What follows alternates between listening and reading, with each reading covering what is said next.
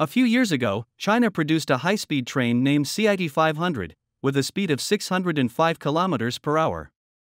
At that time, the highest speed held by the world record was 570 km per hour. This speed has exceeded the world class level, and China's speed has become synonymous with fast.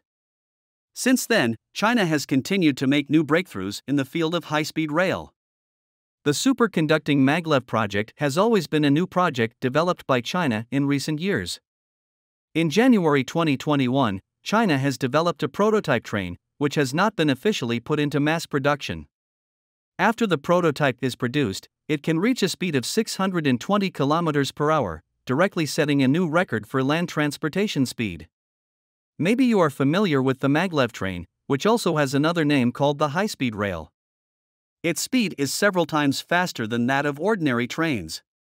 Although the speed of high speed rails in use today is not as fast as that of airplanes, the fastest train in high speed rails has recently been developed that is, the ultra high temperature and high conductivity maglev high speed rail. What's even more exciting is that this high speed rail is made in China and was completed without any help from other countries. This also further illustrates the leading position of China's high speed rail in the world. So, what is an ultra high temperature and high conductivity magnetic levitation train? How does it achieve a speed of 620 km per hour? Besides being fast, what advantages does it have? Hi. Welcome to Hot Topics Time, a channel to interpret news from a new perspective and explore the wisdom behind the news. Before we start today's video, please subscribe to our channel, which is the encouragement that we can create more videos. Okay, let's continue the topic we are talking about. The supertemperature and high conductivity maglev train, from the name, it can be known that the speed of this kind of train may be related to temperature. The high temperature in this kind of train is relative to low temperature superconductors, which means that this temperature mainly refers to the temperature of working in a liquid nitrogen environment, that is, minus 196 degrees Celsius. Superconductivity is a phenomenon when all its resistance disappears under the condition of liquid nitrogen. At present, the common high speed rail in China uses electromagnetic levitation, while the high speed rail in Japan and the United States uses electric levitation. These two technologies are relatively mature in the field of high speed rail, but they require specific conditions.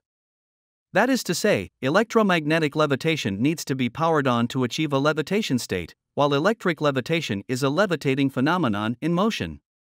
However, for the supertemperature and high conductivity magnetic levitation created in China lately, these conditions are not required at all. It only needs to be cooled by liquid nitrogen to achieve a suspended state. The liquid nitrogen content in the air is 78%, which can be transported without any cost of raw materials, and it is also very environmentally friendly and energy saving so it is far ahead of the existing magnetic levitation technology. This kind of train has a bullet like front, the purpose is to better reduce the friction of the air on it. We all know that ordinary trains need to be supported by wheels, and in some cases, if there is a problem with the wheels or other faults, it is prone to derailment accidents. However, this new type of train has no wheels. You may be asking, how can you drive on the track without wheels? In fact, the track of this kind of train has a magnetic force, and under the action of the high temperature superconductor, the entire body of the train is directly supported. In the middle of these two magnetic poles, a force is formed, which is very important for the train. Because it can drag the train to the track in time when it deviates from the track, so that various accidents can be avoided. So the safety of this train is the highest among all means of transportation. Another advantage of this high speed rail is that it saves money. Why is that? Well, at the beginning of the video, I already said that when this high speed train runs, it needs liquid nitrogen for power, and liquid nitrogen is a very cheap material. In addition to its own attractiveness, there is no need for complex operating systems and power equipment in the train, and there is no contact between the body and the track, so there is no friction.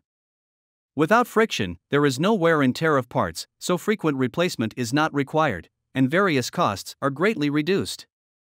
Well, I have to say that the high tech in reality and the high tech in the movie cannot be compared at all.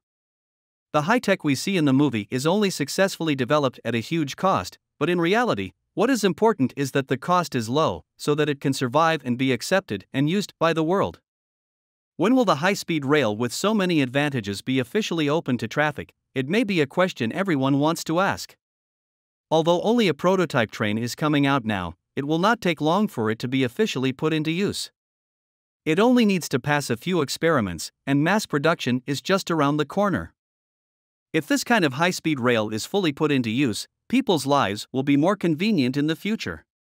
We know that the fastest means of transportation is the plane, which can reach 1000 km per hour, but it is more troublesome for the plane to enter and exit the station. If it is changed to high speed rail, it will be different, people can save more time, and at the same time, it is so safe, which will bring more convenience to people. Coupled with the fact that the speed of high speed rail has been increased so much now, maybe in a few years or decades in the future, the speed of high speed rail may exceed the speed of airplanes. If it continues to develop at this rate, people will be able to travel all over the country without so much trouble, and they can just take high speed rail. Saving time, traveling all over the country without spending so much money, and being safe, which is probably what we all look forward to. So, do you think that Made in China can complete these great projects? If you think Chinese can make it, please share this video to let more people know. All in all, it is foreseeable that in the near future, the idea of flying on land will gradually become a reality. Of course, at present, there are still many difficulties to overcome, such as how to further improve the running speed, how to avoid the discomfort caused by the acceleration process. And all of this must reduce costs as much as possible. After all, only low cost things can be realized, and can they truly serve human beings and promote social development? Well, thanks for listening. If you have any suggestions, just leave them in the comments section. We'll come back as soon as possible and check them, and then we'll give feedback. Please put your comments below and share your insightful ideas with other people. Hot Topics time, time to explore the wisdom behind the news. We will see you in the next video.